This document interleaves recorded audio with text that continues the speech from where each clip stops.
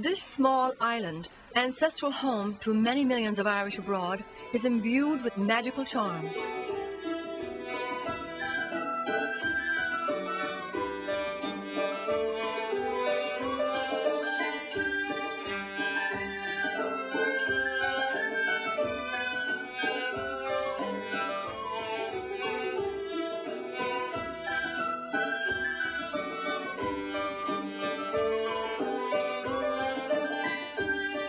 As these celebrated women demonstrate, Ireland's liberation is best expressed in its poetry, music, and dance.